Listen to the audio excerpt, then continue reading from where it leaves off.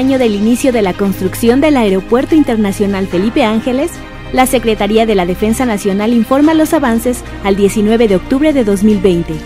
Esta obra es proyectada, planeada y dirigida por el Agrupamiento de Ingenieros Militares y está integrada actualmente por 24 frentes, en los cuales se trabaja de forma simultánea, para avanzar en tiempo y forma en la construcción, entre los que destacan la torre de control de tráfico aéreo y servicios de extinción de incendios. Terminal de pasajeros. Pistas norte, central, plataformas y rodajes. Interconexión vial tramo carretero Santa Lucía. La obra lleva un avance general del 40.01%. A la fecha, en este macroproyecto, se han construido más de 2 millones y medio de metros cuadrados, se han trasladado más de 3 millones de metros cúbicos de materiales pétreos y empleado más de 120.560 toneladas de acero, así como más de 1.100 unidades de maquinaria pesada y 1.200 vehículos.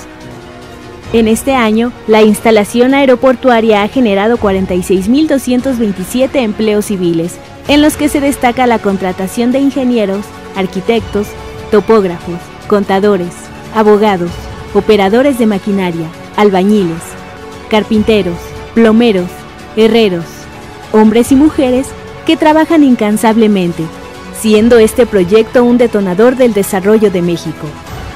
A todos los mexicanos, tengan la certeza de que este proyecto de gran infraestructura nacional se concluirá conforme a lo programado. Faltan 518 días de construcción. Gobierno de México.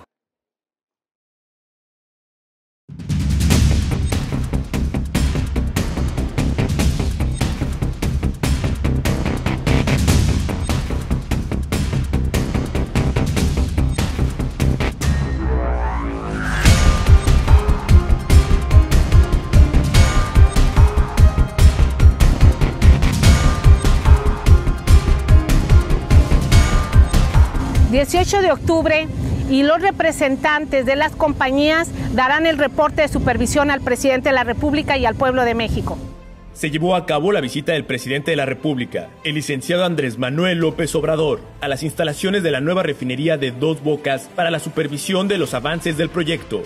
Al respecto se informó del avance de la obra en un 24% de su totalidad. También se reportó sobre los trabajos concluidos en la fase 1 correspondiente a cimentaciones e ingeniería de detalle en las 17 plantas de proceso, tanques y esferas de almacenamiento, obras de servicio y obras externas. Se tienen concluidas las pilas para las cimentaciones profundas de las nueve plantas de proceso correspondientes a los paquetes 1, 3 y 4, asignadas a la compañía Ica Fluor, y estas plantas ya iniciaron con el levantamiento de construcción de columnas, traves y racks. Los paquetes 2 y 3 continúan en su fase de pilotaje con un avance de 64% y 74% respectivamente, para un total de 7.003 pilas ejecutadas. En lo que corresponde al paquete 4, se avanza en los trabajos de fabricación de inclusiones de grava y concreto, con un avance del 52% y de un 49% en construcción de pilas.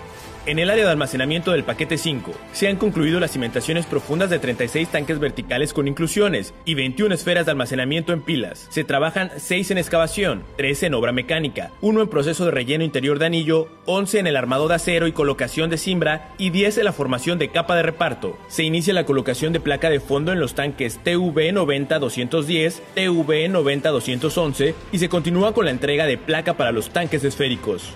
Respecto al paquete 6, se trabaja en el montaje de columnas de estructuras metálicas en edificios administrativos, así como en las instalaciones hidráulica, sanitaria y colocación de cubierta de los edificios satélite y de seguridad, continuando también con la siembra en losa de cimentación y vaciado de concreto en muros del edificio de cuarto de control. En materia de sustentabilidad, continúa el desarrollo de 42.508 plantas de ornato y forestales en el vivero.